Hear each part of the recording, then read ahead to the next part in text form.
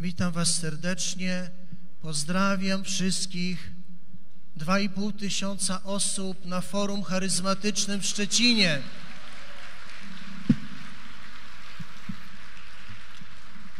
Z 15 krajów Europy i świata, nawet z Australii. Wszystkich Was witamy.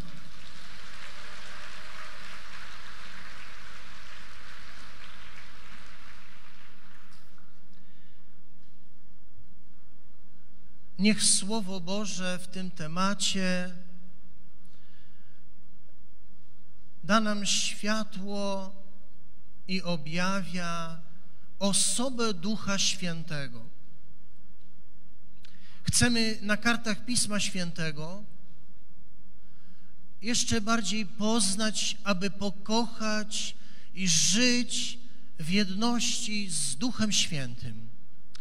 I zaczynamy, kochani, bo nie można inaczej, od Matki Bożej. Maryja pierwsza przyjęła to natchnienie Ducha Świętego. Pierwsza przyjęła moc Ducha Świętego. A więc jesteśmy w pierwszym rozdziale Księgi Łukasza, Ewangelii Łukasza 1,35, kiedy to anioł mówi do Matki Bożej, Duch Święty stąpi na Ciebie. I rozpoczęło się to wielkie wydarzenie zwiastowania, wcielenia Syna Bożego Jezusa Chrystusa przez moc Ducha Świętego. Widzisz, to wielkie wydarzenie dokonuje się przez moc Ducha Świętego. Duch Święty stąpi na Ciebie, moc Najwyższego osłoni Cię. A nie anioł odpowiada Maryi w ten sposób, kiedy ona nie wie, jak to się stanie, jak to wszystko się potoczy w moim życiu. Nie rozumiem tego, co anioł do mnie mówi w tym spotkaniu, w zwiastowaniu, a anioł odpowiada, Duch Święty stąpi na ciebie. Nie dokona się to po ludzku, ale dokona się to w Twoim życiu przez Ducha Świętego, mocą Ducha Świętego.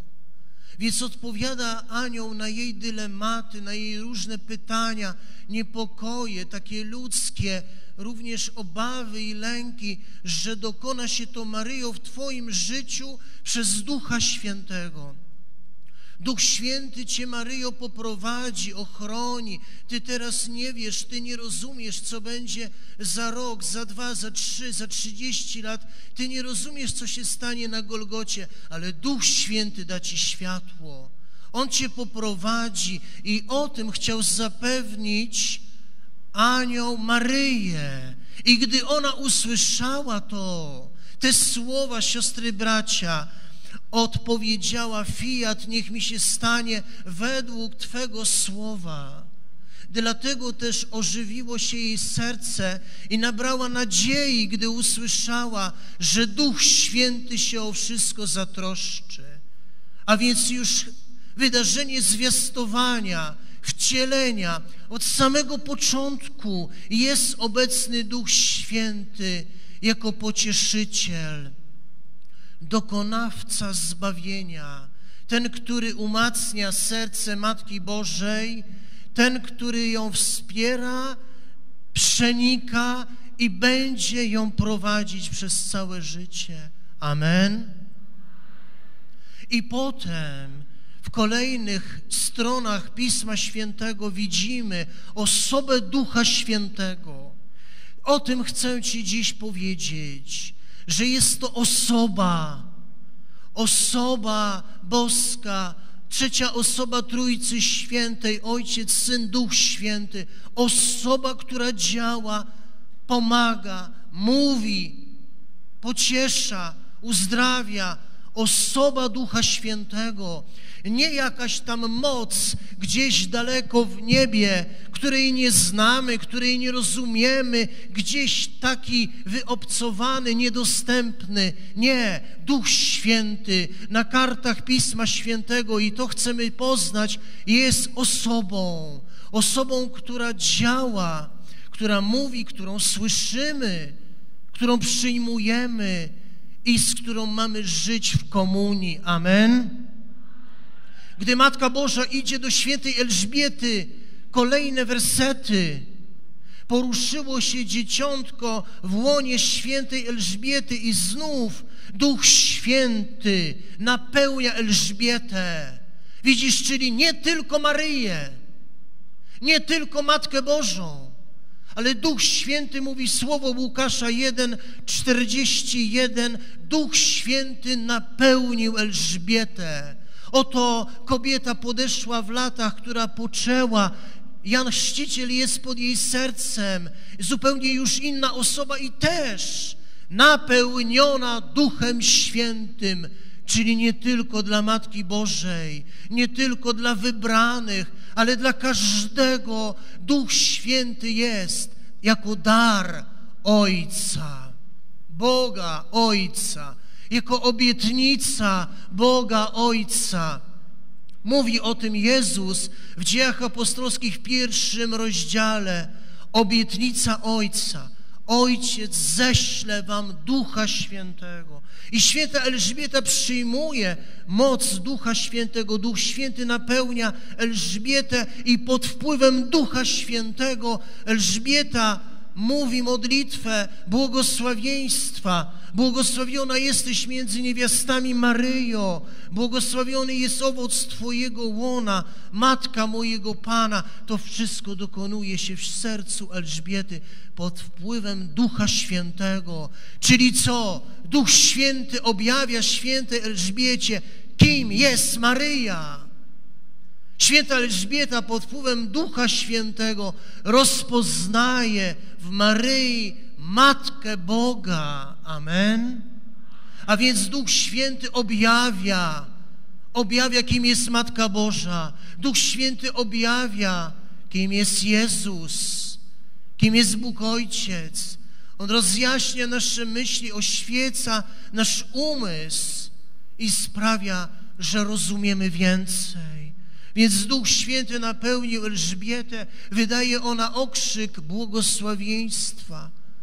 I tak, siostry i bracia, już od początku Ewangelii, od pierwszych scen widzimy działanie Ducha Świętego jako osoby żywej. I Jezus nasz Pan zapowiadał nam Ducha Świętego jako tego, który będzie pocieszycielem, obrońcą, który będzie nas wspierać i prowadzić. Mówi Jezus, Ewangelia Łukasza 11, 13, Ojciec z nieba, czyli Duch Święty. Ojciec z nieba da Ducha Świętego tym, którzy Go poproszą. Czyli mamy poprosić. Jezus zapowiada obietnicę. I w dziejach apostolskich w pierwszym rozdziale Duch Święty jest też przedstawiony jako obietnica Ojca. Obietnica dla Ciebie, obietnica dla każdego z nas, dla każdego człowieka. I tutaj też, Łukasza 11, 13, mówi Jezus, Ojciec da, da, chce dawać nam Ducha Świętego, Pocieszyciela. Da Ducha Świętego tym, którzy poproszą, czyli trzeba prosić. Czyli trzeba prosić, wołać, a Ojciec da. Ojciec chce dawać bez ograniczeń. Siostry, bracia, to jest dar. Dar dla naszego uświęcenia i umocnienia. Ojciec da z nieba Ducha Świętego tym, którzy Go poproszą, aby był w Tobie, aby Cię napełniał jak Maryję, jak świętą Elżbietę, aby Cię pocieszał, wspierał, aby dawał natchnienia, by kierował Twoim życiem, by mówił do Twojego serca. To jest dar obiecany przez Jezusa dla Kościoła, dla dzieci Kościoła. Kolejne osoby na kartach Pisma Świętego, które były napełnione Duchem Świętym i żyły w tej komunii z Duchem Świętym, w społeczności z Duchem Świętym. Na przykład Zachariasz.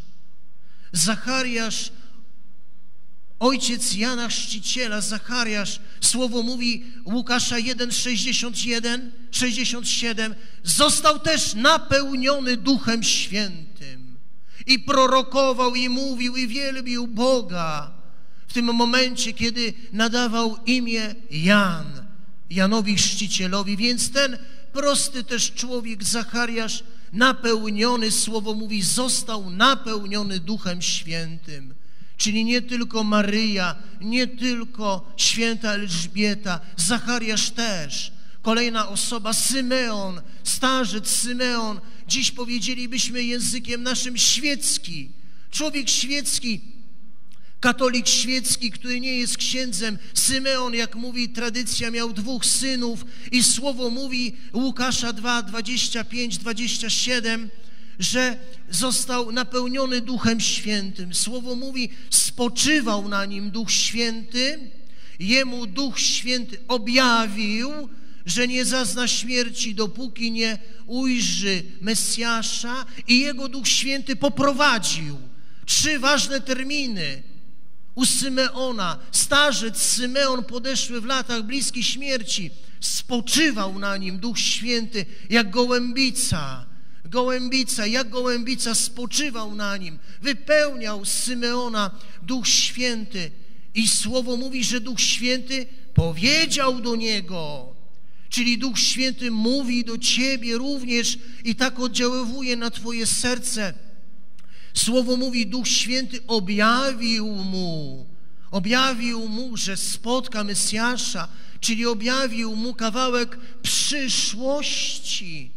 I Duch Święty poprowadził go tego dnia natchnieniem serca, poruszeniem jego myśli. Masz przyjść, Symeonie, teraz do świątyni, bo teraz się to dzieje. I tak się stało. Symeon posłuszny natchnieniu Bożemu przychodzi. Więc widzisz kolejnego bohatera Pisma Świętego, który jest otwarty na działanie Ducha Świętego. Symeon. Więc już święta Elżbieta, Zachariasz napełniony Duchem Świętym, Symeon napełniony Duchem Świętym i przede wszystkim Jezus Chrystus napełniony Duchem Świętym. Łukasza 4:1 słowo mówi pełen Ducha Świętego. Powrócił z nad Jordanu i przebywał w Duchu Świętym. Łukasza 4:14 w mocy Ducha Świętego wrócił do Galilei. I nasz Pan, Jezus Chrystus, zapowiadał obietnicę Ducha Świętego, ten wielki dar dla Ciebie, aby przygotować serca uczniów na zesłanie Ducha Świętego. Mówił Jezus wprost, Łukasza 12, 12, Duch Święty nauczy was czyli nauczyciel. Gdy nie wiesz, gdy nie potrafisz, gdy żyję w ciemności, ja często nie wiem, co robić, jak iść, co wybrać, co powiedzieć. Właśnie to Jezus mówi: Duch Święty nauczy Was, nauczy Ciebie. Masz więc najlepszego nauczyciela, który zna odpowiedź na wszystkie pytania, na wszystkie problemy naszego życia. Najlepszy nauczyciel, Duch Święty. Łukasza 12, 12. Duch Święty nauczy was, co należy powiedzieć, co należy czynić, zrobić. A więc mamy słuchać, mamy prosić, mamy wołać, uczyć się tej komunii z Duchem Świętym najlepszym nauczycielem. Tak samo Ewangelia Jana 14, 26. Słowo Boże, tego się musimy zawsze trzymać, dzień i noc nieustannie zanurzać w kartach Pisma Świętego i studiować. To jest źródło dla Twojego życia. I mówi Pan, pocieszyciel, Duch Święty, On was wszystkiego nauczy. Wszystkiego. Jakie niesamowite słowo. Wszystkiego to znaczy wszystkiego. Rozumiemy? Powtórzymy. Wszystkiego to znaczy wszystkiego. Wszystkiego. Słowo Boże mówi, Jezus Chrystus nam mówi, pocieszyciel, Duch Święty, On was wszystkiego nauczy. Wszystkiego w rodzinie, wszystkiego w pracy, wszystkiego w sąsiedztwie, w nauce, w szkole, w wychowywaniu dzieci, w modlitwie, w rozwijaniu wiary, w życiu z sakramentami, w uświęceniu na drodze do wieczności. Pocieszyciel, Duch Święty, On was wszystkiego nauczy, mówi Jezus. I słowo mówi dalej, i przypomni wam wszystko, co ja wam powiedziałem. Tutaj tekst grecki ma takie słowo, które oznacza nie tylko takie przypomnienie intelektualne, coś zapomniałem i sobie przypomniałem. Tu chodzi o takie poznanie głębsze, poznanie głębokie, poznanie w głąb, przenikliwe. To może dać tylko Duch Święty, najlepszy nasz nauczyciel. Pocieszyciel Duch Święty, On was wszystkiego nauczy i przypomni wam, co wam powiedziałem. Duch Święty też przekonuje nas, jak żyć w woli Bożej, jak trwać w uświęceniu. Jana 16,7 mówi, że On przekonuje o grzechu, On Duch Święty po, pomaga nam rozeznać, jak żyć, jak, co jest grzechem, jak go unikać. Duch Święty daje to światło. On przekona o słabości, On pomoże nam w rozeznawaniu, w dobrych wyborach. I mówi Ewangelia Jana 16, 13, doprowadzi was do całej prawdy do całej prawdy w Bogu, do życia Bożego. Więc widzisz już, jak sam Jezus Chrystus objawia Ci Ducha Świętego jako osobę, która działa, uzdrawia, uwalnia, pociesza, która odpowiada na nasze pytania, mówi do głębi naszych serc, co my mamy zrobić. Prosić, pragnąć, wzywać, pragnąć Ducha Świętego. Pamiętacie, jak z serca Jezusa, tutaj na obrazie Jezusa Miłosiernego jest to też przedstawione, wypłynęła krew i woda. Ewangelia Jana 19:34, 19:34 wypłynęła krew i woda. Woda, symbol Ducha Świętego. Woda żywa to jest symbol Ducha Świętego w Piśmie Świętym. My mamy pragnąć Ducha Świętego jak wody żywej. Księga proroka Ezechiela 47 od 8 do 9. Prorok Ezechiel w Słowie Bożym mówi o świątyni. O świątyni, z której wypływa woda. Woda uzdrawiająca wszystko ale oczywiście proroczo widzi nową świątynię, a świątynią, jak mówi Apokalipsa, jest baranek. Świątynią jest baranek i z tej świątyni u Ezechiela 47 rozdział, z tej świątyni wypływa woda.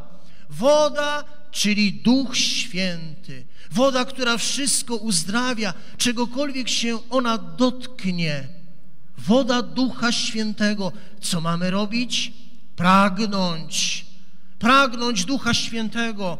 Mówi o tym ważnym zadaniu, byśmy nie zapominali. Jezus w Ewangelii Jana w siódmym rozdziale, siostry, bracia, wprost mówi nasz Pan. Rozdział siódmy, werset 37. 37. Jeśli ktoś jest spragniony, Jesteście spragnieni Ducha Świętego, aby pomagał, spragnieni Bożej mocy, pomocy. Jeśli ktoś jest spragniony, spragniony Ducha Świętego, a wierzy we mnie, mówi Jezus, niech przyjdzie do mnie i pije, jak rzekło Pismo, strumienie wody żywej, właśnie tej żywej, popłyną z jego wnętrza, a powiedział to o duchu, którego mieli otrzymać. Ile modlisz się do Ducha Świętego? Ile w Twoim życiu jest modlitwy do Ducha Świętego? Konkretnie. Czy go pragniesz? Czy go prosisz? Czy go wzywasz? Czy rozmawiasz z nim, z Duchem Świętym? Czy jest w Tobie ten niedosyt, to pragnienie, jak zeschła ziemia, jak pustynia? Pragnę Cię, jak wody żywej.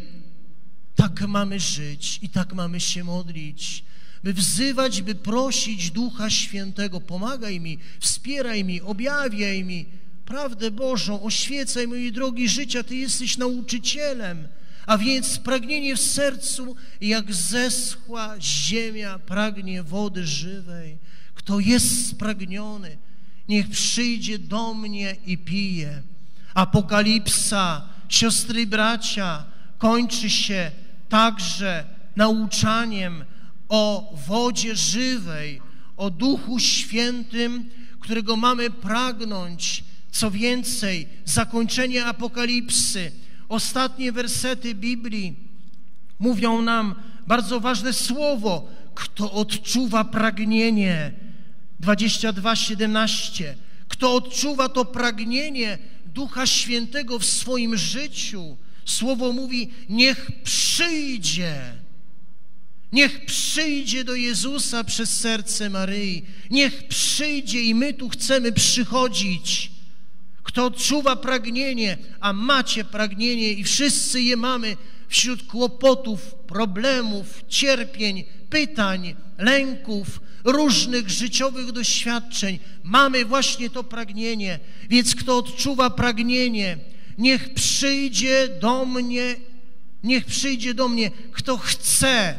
Uwaga, mówi Jezus, kto chce, a my chcemy, niech wody życia darmo, darmo, mówi Pan, niech darmo zaczerpnie, czyli jest to dar bez płacenia. Dar dla każdego, osoba Ducha Świętego, ale trzeba chcieć, więc Duch Święty nie wejdzie na siłę. Duch Święty nie wejdzie na siłę do mojego serca, do mojego życia. Ja mam chcieć, ja mam otworzyć serce, ja mam zapragnąć i powiedzieć: Pragnę, potrzebuję Cię, wierzę w Ciebie, Duchu Święty. A wtedy za darmo zaczerpniesz wody żywej i Ojciec udziela tego daru wszystkim, którzy mają to pragnienie w sercu, siostry i bracia. Wcześniejszy rozdział Apokalipsy mówi też o Duchu Świętym 21:6. Słowo mówi tak: Ja pragnącemu, ja pragnącemu dam darmo. Znów to słowo darmo, darmo pić ze źródła wody żywej. Amen. Wydaje się nam czasami, że żeby otrzymać Ducha Świętego, Jego dary, to muszę spełnić sto tysięcy różnych warunków, zasłużyć, zarobić na to. A co mówi Słowo? Za darmo. Słowo mówi, wystarczy chcieć, wystarczy pragnąć, wystarczy otworzyć serce z wiarą, z ufnością, Daj mi Ducha Świętego, potrzebuję Go więcej, by lepiej się modlić, bardziej wierzyć, bardziej kochać, bardziej ufać, naśladować Jezusa. Sami o własnych siłach nie damy rady. Dlatego Jezus mówi, On was wszystkiego nauczy. On jest tym, który doprowadza do naszego uświęcenia. On jest tym, który dokonuje w nas tej przemiany, i umocnienia w naszym życiu. Dlatego też Jezus, popatrz, wiedział, że po zmartwychwstaniu jeszcze uczniowie są niedokończeni. Wiedział, że zmartwychwstanie nie wystarczyło, że to nie był koniec i czterdziestego dnia, w chwili w niebo wstąpienia, kiedy oni po czterdziestu dniach z spotkań z żyjącym Jezusem. Widzieli Go, dał im wiele dowodów, że żyje, mówi Słowo. Dalej nic nie rozumieją. Dalej zadają różne dziwne pytania. Nie wystarczyło, popatrz, zmartwychwstanie. Nie wystarczyło im spotykanie Jezusa przez 40 dni, żywego Pana, bo dalej zadają dziwne pytania. Panie, czy w tym czasie przywrócisz Królestwo Izraela? Pierwszy rozdział dziejów apostolskich, czyli są niedokończeni w formacji. Cały czas czegoś brakuje. Serca są niedokończone, jeszcze puste, umysł nieoświecony i wtedy mówi im Jezus. Dzieje apostolskie, rozdział pierwszy, werset piąty. Wkrótce zostaniecie zanurzeni w Ducha Świętego. Wkrótce zrozumiecie wszystko. Wkrótce otworzą się wam oczy.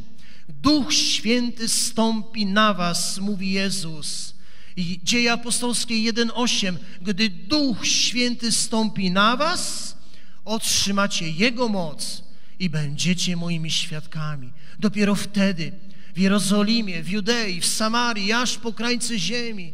Mówi Jezus, że to Duch Święty dokończy dzieła, które rozpoczął w waszych sercach. Siostry, bracia, i tak samo mówi o tym Słowo Boże w księdze proroka Zachariasza, kiedy to Bóg mówi, kto dokończy, kto będzie kontynuować to dzieło. Nie siła, nie moc, ale duch mój dokończy dzieła, mówi Pan. To już w Starym Testamencie zapowiadał Bóg tą wielką misję Ducha Świętego, który będzie kontynuować, który dokończy, dokończy dzieła. To jest Zachariasza 4,6. 4,6. Słowo mówi, nie siła, nie moc, ale duch mój dokończy dzieła, mówi Pan. I to samo się wypełniło w dziejach apostolskich. To Duch Święty dokończył, czyli kontynuator, dokonawca zbawienia w nas, w Kościele. Mówi pneumatologia, nauka o Duchu Świętym. On jest tym, który dokańcza, który formuje, który wszystkiego uczy, który doprowadza do końca proces uświęcenia, zbawienia w naszym życiu. Dlatego Jezus zapowiada 40 dnia, w dniu, zmartw, w dniu w niebo wstąpienia, gdy Duch Święty stąpi na was, otrzymacie Jego moc i będziecie moimi świadkami. Więc mamy pragnąć, mamy wierzyć, mamy ufać, że to On, Duch Święty, będzie działać Będziecie prowadzić, będziecie uświęcać, rozmawiaj z Nim, wołaj Go, proś Go, słuchaj Go, aby Twe serce było otwarte, aby Twe serce było uległe i tego uczyli się apostołowie. Tego uczyliście i dlatego po tych słowach co? Zamknęliście w wieczerniku. Dziewięć dni nowenny przed zesłaniem Ducha Świętego. Teraz jest czas nowenny przed zesłaniem Ducha Świętego. Właśnie w tym okresie jesteśmy w nowennie przed zesłaniem Ducha Świętego. Oni się zamknęli w wieczerniku na te dziewięć dni i słowo mówi trwali jednomyślnie na modlitwie z Maryją w wieczerniku. My będziemy tu trwać trzy dni. Oni trwali dziewięć dni. Słowo podkreśla jednomyślnie. Niezwykle ważny termin. Jeśli nie będzie jedności, nie stąpi Duch Święty. Duch Święty nie może przyjść, jeśli będą kłótnie, podziały, niezgoda, nieprzebaczenie, nienawiść, bo to są blokady. Jeśli będzie jedność, w domach, w rodzinach, z modlitwą, jedność we wspólnotach, jedność w zgromadzeniu, to na taki lud Boży może przyjść i wypełnić go Duch Święty. Dlatego widzisz, jak konieczna była ta nowenna przed zesłaniem Ducha Świętego. Dziewięć dni z Maryją zamknięci po to, by sobie wszystko do końca przebaczyć, by się zjednoczyć, by ustąpiły wszystkie urazy, spory, waśnie, kłótnie jednomyślnie trwać z Maryją w oczekiwaniu na zesłanie Ducha Świętego. I dopiero wtedy, kiedy byli tak zjednoczeni, trwający jednomyślnie na modlitwie 120 razem w wieczerniku, ich serca były przygotowane, odblokowane, gotowe, pragnące, tęskniące na tego, którego obiecał Jezus. Gdy Duch Święty stąpi na was, otrzymacie Jego moc. Wszystko stanie się jasne. Będziecie moimi świadkami w Jerozolimie, w Judei, w Samarii. Zatacza te okręgi Pan i aż po krańce ziemi, czyli wszędzie. On was przemieni. I kiedy nadszedł wreszcie dzień pięćdziesiątnicy, mówi słowo, dzieje apostolskie 2:4, znów jedność. Znajdowali się wszyscy i słowo klucz razem jedność. Konieczna, by stąpiła moc Ducha Świętego, by go przyjmować. Znajdowali się wszyscy razem. Powtórzymy, jak? I jeszcze raz. Jeszcze raz. Słowo klucz, czyli jedność wspólnoty, jedność braci, razem. Znajdowali się wszyscy razem na tym samym miejscu. To samo miejsce wspólnej modlitwy. I wtedy to się dokonało nagle. Często w Biblii wielkie rzeczy dzieją się nagle. Słowo mówi nagle, dał się słyszeć z nieba szum, wiatr, wiatr, szum jakby uderzenie gwałtownego wichru i napełnił cały dom, który, w którym przebywali. I słowo podkreśla niezwykle ważne zdanie jest. 2.4, dzieje apostolskie 2.4 i wtedy co? Wszyscy zostali napełnieni Duchem Świętym, nie wybrani, jak w czasach Starego Testamentu, Mojżesz, Gedeon, Jozue. Tutaj słowo mówi wszyscy, bez wyjątku, czyli dla każdego, a w wieczerniku były kobiety, niewiasty, mężczyźni, uczniowie po prostu Jezusa. Wszyscy są napełnieni Duchem Świętym, ten dar Ojca. Wszyscy go otrzymują w tych świetlistych, ognistych promieniach, jak to przedstawia nam Słowo Boże i tradycja. Wszyscy są napełnieni Duchem Świętym i Piotr apostoł wyjaśnia wtedy, co się dzieje, jak mamy rozumieć to doświadczenie, którego nie do końca jeszcze pojmowali. Wyjaśnia, że ci ludzie nie są pijani, ale spełnia się słowo proroka Joela. Słowo proroka Joela cytuje Piotr księgę proroka Joela, trzeci rozdział Joela. W ostatnich dniach, mówi Pan, wyleje ducha mojego, uwaga, wyleje ducha mojego, czyli było to już zapowiedziane w Starym Testamencie. Wyleje ducha mojego, uwaga, mówi Bóg, na wszelkie ciało, czyli na każdego z nas na każdego człowieka. I mówi jeszcze więcej prorok Joel i będą prorokowali, czyli charyzmaty, normalna rzecz w życiu chrześcijanina. Będą prorokowali synowie wasi, córki wasze, czyli dzieci, młodzieńcy, dziewczęta, wasi widzenia, wizje mieć będą. Nawet, mówi prorok Joel, na niewolników, na niewolnice, na niewolnice wyleje ducha mojego. Widzisz, jak hojny jest Bóg i to, co zapowiedział prorok Joel w Słowie Bożym wypełniło się w dziejach apostolskich i to w dziejach apostolskich wtedy to było pierwszy raz. Ale czy ostatni? Jedyny? Tak czy nie? Oczywiście, że nie. To był dopiero piękny, wspaniały początek. Tu się zaczęło dopiero życie Kościoła. To było pierwsze zesłanie Ducha Świętego. Pierwsze, które rozpoczęło ten piękny czas rozkwitu, czyli zielone świątki. Dlatego te zielone brzuski na zielone świątki zakwitło życie w Kościele, zakwitła Boża miłość, Boża radość, gdy stąpił Duch Święty. I potem co mamy? Siostry, bracia, kolejne zesłanie Ducha Świętego. Jaka radość, jaki zachwyt musiał być w sercach apostołów, bo oni może myśleli tak jak i my, że to było tylko jeden raz. W dniu pięćdziesiątnicy, dzieje apostolskie, rozdział 4, 31, 4, 31, drugie zesłanie Ducha Świętego. Słowo mówi, że znów zostali wszyscy podkreśla słowo, uwaga, wszyscy zostali napełnieni Duchem Świętym i głosili odważnie Słowo Boże.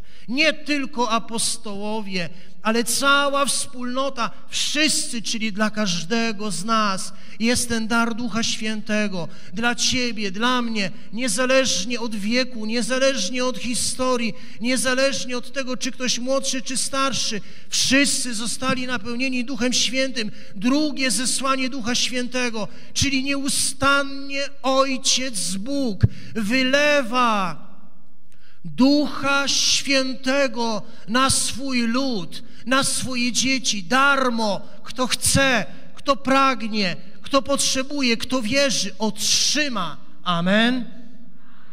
To jest prawda o Duchu Świętym, który jest osobą działającą w nas.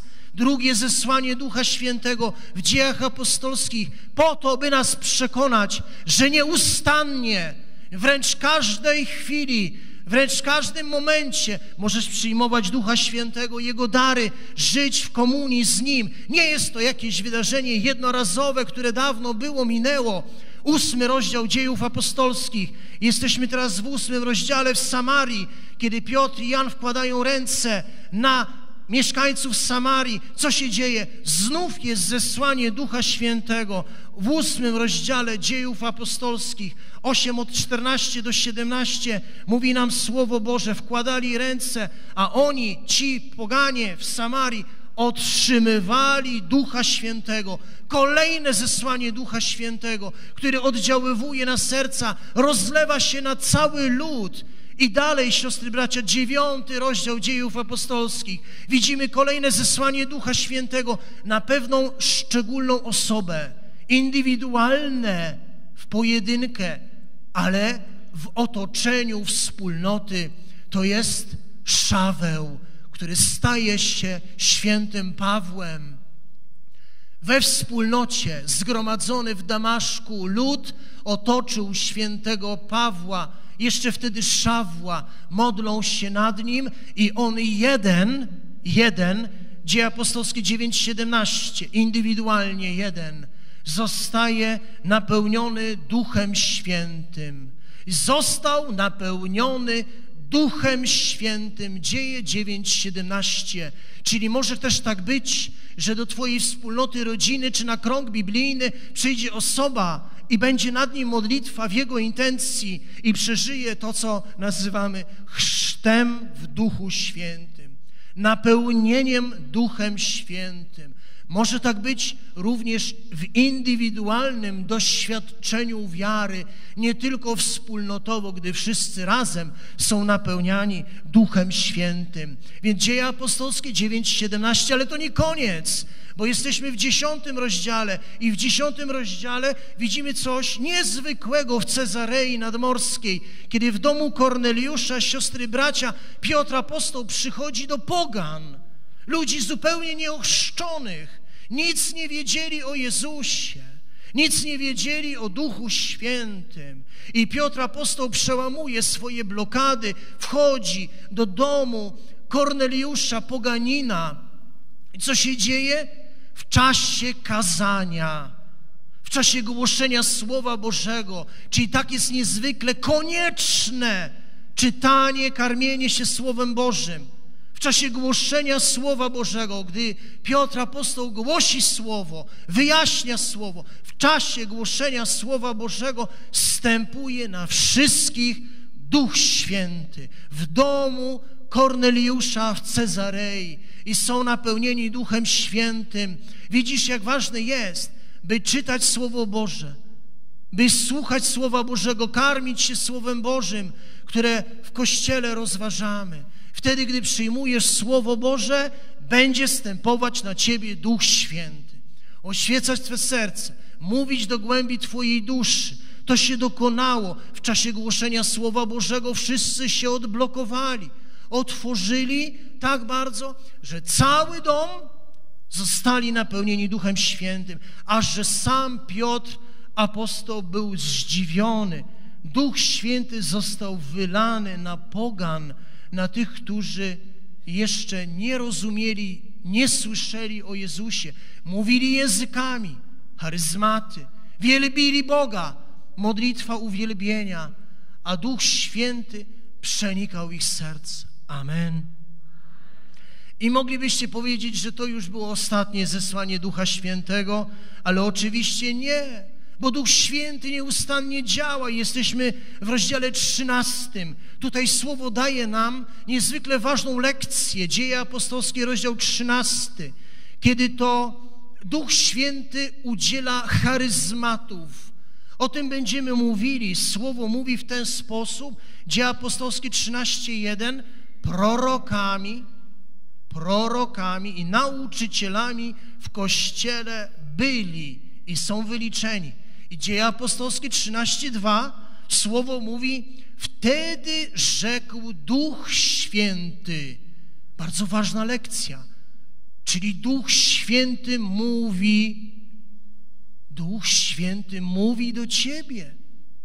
Słowo mówi: Rzekł Duch Święty Przygotujcie Pawła i Barnabę i wyślijcie już na misję. Duch Święty mówi, kiedy wspólnota jest zgromadzona. Duch Święty mówi do głębi Twojego serca: słuchaj go w tych dniach. Odpocznij w Bogu w czasie tego forum, tych rekolekcji. Słuchaj Boga w Eucharystii, w sakramentach, w adoracji we wspólnej modlitwie, słuchaj Ducha Świętego. On mówi. Dzieje apostolskie objawiają nam właśnie tą prawdę, że Duch Święty mówi w tym wypadku, co zrobić. Dzieje apostolskie 13:4, co zrobić.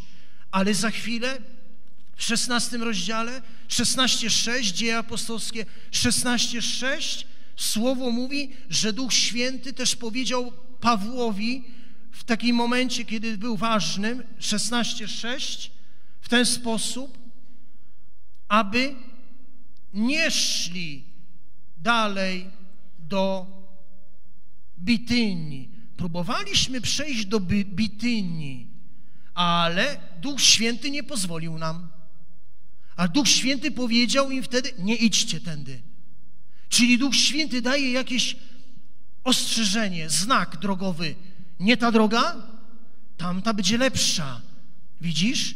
I słowo mówi, Duch Święty nie pozwolił nam tam iść i poszliśmy do Troady. Czyli widzisz, nauczyciel, dający ci wskazówki w życiu, którą drogą pójść. Duch Święty, który oświeca Twe serce. To jest szesnasty rozdział, więc radź się Ducha Świętego, radź się i przyjmuj Jego natchnienia, Jego poruszenia, aby iść za tymi wskazówkami. Popatrzcie, siostry i bracia, w głębie swego serca. Ile modlimy się do Ducha Świętego. Kiedy Go słuchasz? Kiedy z Nim rozmawiasz? Kiedy Go nasłuchujesz? by przyjąć Jego natchnienia, Jego poruszenia. On jest tym, który prowadzi jako najlepsza nawigacja osoba Ducha Świętego, który przychodzi do Ciebie z owocami różnego rodzaju. Jak to mówi Paweł w liście do Galatów 5:22, owocami miłości, radości, owocami pokoju, owocami uprzejmości, dobroci, łagodności. On przychodzi do ciebie z charyzmatami, jak to mówi pierwszy list do Koryntian, rozdział 12. On przychodzi, by przenikać Twe serce, by Cię wspierać, by Cię umacniać, by Cię pocieszać, by być dla Ciebie najlepszym nauczycielem, uświęcicielem, obrońcą, doradcą. I do tego chcę Cię zachęcić w tym temacie, aby pragnąć, aby wierzyć, aby tęsknić, by wzywać Ducha Świętego, a On chce i może przyjść do każdego i każdej z nas. Prosimy Cię, Duchu Święty. Otwieraj nasze serce. Módlmy się razem. Ucz nas, Duchu Święty. Ucz nas komunii z Tobą, byśmy Cię słuchali i słyszeli. Duchu Święty, otwieramy Tobie nasze serca. Chcemy Cię przyjmować. Chcemy Cię słuchać. Duchu Święty, pragniemy Cię jak wody żywej. Potrzebujemy Cię jak wody. Ty jesteś za darmo. Ty jesteś najlepszym nauczycielem. Duchu Święty, ucz nas wszystkiego. W jedności teraz prosimy Cię, przenikaj nasze serca, nasze umysły. Przenikaj, wypełniaj nas. Duchu Święty. Przyjdź z owocami, przyjdź z charyzmatami do nas, z darem jedności i miłości. Duchu Święty, przyjdź. Prosimy, ucz nas słuchania Ciebie, słyszenia Ciebie, byśmy byli Tobie ulegli, byśmy żyli w komunii, byli z kości z Tobą, bo jesteś Panem i ożywicielem. Panem i ożywicielem, który żyjesz i królujesz na wieki wieków. Amen.